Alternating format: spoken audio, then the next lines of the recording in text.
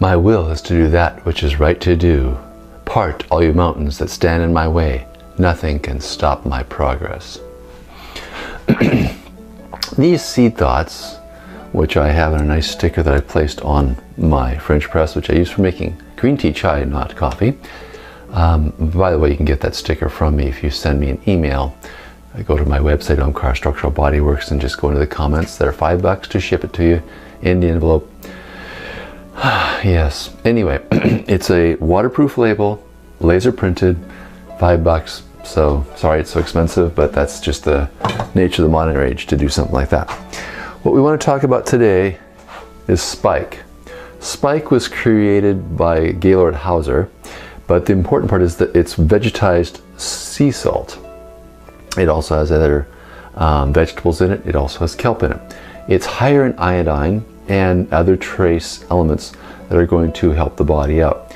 Paramhansa Yogananda, author of Autobiography Yogi and also in the Awake movie and also a prime inspiration and featured by, vicariously, although of course he was already passed on at this point in the movie Finding Happiness, talked about using this in place of salt in most of your recipes. And I've used it to make quite a few things, everything from steel cut oats, by the way, steel cut oats are much better for you than oatmeal, um, to mm, sauces, uh, curries, etc., etc. And the flavor is far enough back if you don't use too much of it that you're not going to dominate it with the um, this other flavor of vegetables and kelp. That's going to help you with everything from helping with wrinkle support to improving your immune system to improving your moods because it, since iodine helps with oxygen transport, you're going to be less moody. So we're going to put that down for a little bit and talk about something else. I recently came back from a uh, conference with Dr. Jerry Tennant, author of Healing Is Voltage, and he was recommending sauerkraut brine mixed with tomato juice, one quart each, by the way, this is a pint, as a uh, remedy for gallbladder stones and kidney stones. Now, kidney stones, if you've ever had such an attack, um, is incredibly painful, and you would have to have this stuff on hand and probably even have somebody else make it for you. Um, it would take a lot of perseverance to uh, be able to open a jar, pour them together. Even that much might be more than you could do. However, if, it, if you have it around, at least it's possible and it's way easier than getting to the emergency room. So what you need is a pint of each of tomato juice and the brine and I've mixed them both together already in here. Give it a little shake and we're going to put it in here.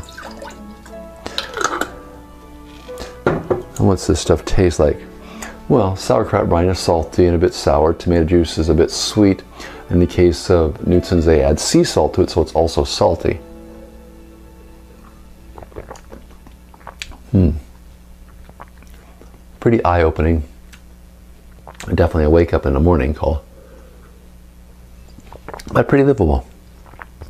Dr. Tennant also suggested that in the case of liver gallstones, uh, liver or gallstone attacks, you can have a lot of pain. So, a tablespoon of Epsom salts in water to help relieve that. And of course, relieving it means there's cramping in the stomach, which is going to result in a bit of diarrhea. But a few hours of diarrhea versus uh, going into the hospital and getting surgery, pretty easy trade-off. No contest in my opinion. It's way cheaper to have a few dollars worth of Epsom salts around and some tomato juice and some uh, sauerkraut brine. This is OlyKraut from Washington State. It's a little pricey, 10 bucks uh, for a pint. You'd need two of them to do the rest the remedy the way Dr. Tennant talks about.